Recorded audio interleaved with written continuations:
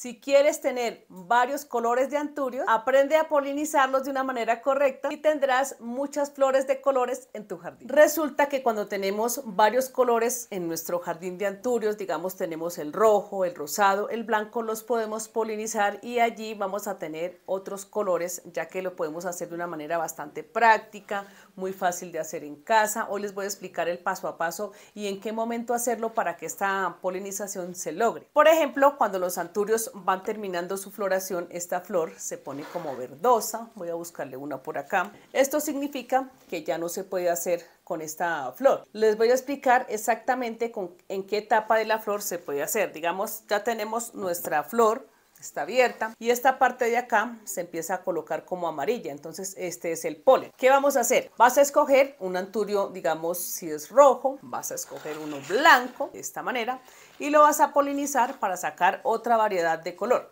Realmente esta no es una flor esta es una hoja falsa pero la única flor es esta partecita de arriba. Entonces ¿cómo lo vamos a hacer? acá hay dos formas de hacerlo. Vas a coger tu mano vas a frotar de esta manera esta florecita Luego lo llevas a esta y listo. Lo vas a hacer las veces que quieras, vas a llevar, vas a llevar hasta esta flor y listo. ¿Con qué otra forma lo podemos hacer? Vamos a coger un pincel, el pincel que ustedes tengan, por ejemplo yo tengo este que es el del maquillaje, lo tengo súper lavado, desinfectado, también hacemos lo mismo. Frotamos súper, súper esta parte y luego la llevamos hasta la otra flor hasta que esta se vaya polinizando. Les recuerdo que si estos anturios, por ejemplo, si ustedes los tienen fuera de la casa, las abejas hacen esta función. Pero acá simplemente lo podemos hacer con la mano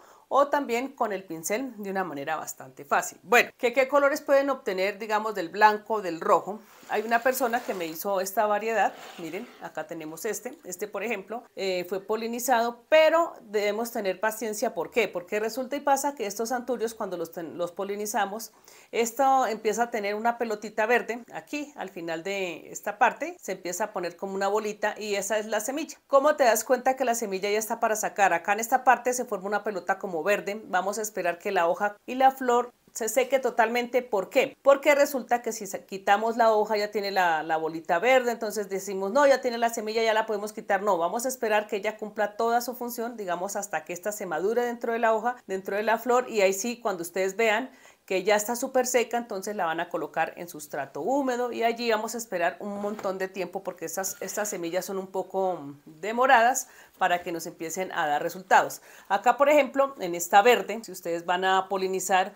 una, un anturio blanco, acá no lo van a notar mucho, sino simplemente tienen que empezar a notar el abultamiento que se va haciendo acá, porque como este es de color verde, de pronto a veces no nos damos cuenta. Entonces vamos a esperar que este abulte y que se seque totalmente esta, esta flor y ahí sí empezamos a recolectar las semillas. Ahora que ya sabes cómo polinizarlo, entonces, ¿qué vas a hacer? Si digamos tienes en una maceta un montón de anturios o en una parte de la casa tiene muchísimos, vas a empezar a marcarlos con una cinta, pones la cinta, le pones el nombre del color que empezó a polinizar.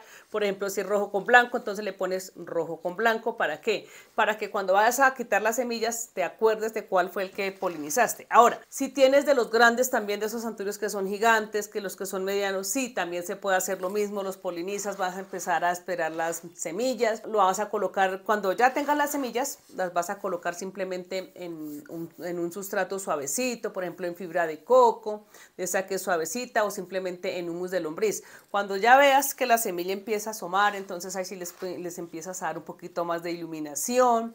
También es importante que cuando ya esté listo para trasplantar, lo pongas en una maceta individual, con su sustrato adecuado, como lo son el sustrato de fibra de coco, también en la maceta adecuada, les vas a dar riego día por medio para que éste se empiece a hidratar y empiecen a crecer de una forma bonita, que no se vayan a, digamos, a etiolar, sino simplemente les da buena iluminación y esto hace que ésta empiece a crecer de una manera muy bonita. Ahora, que si hay que empezar a fumigarlos, claro que sí. Les voy a compartir que a veces cuando uno empieza a sembrar estas semillas, si no les colocamos, por ejemplo, algún protector, por ejemplo, fungicida de, que tengamos en nuestra casa, a veces estas semillitas no nacen. ¿Por qué? Porque hay unos animalitos que se comen este tipo de semillas. Entonces vamos a tener en cuenta que le colocamos alrededor de la maceta un poquito de fungicida para que nuestras semillas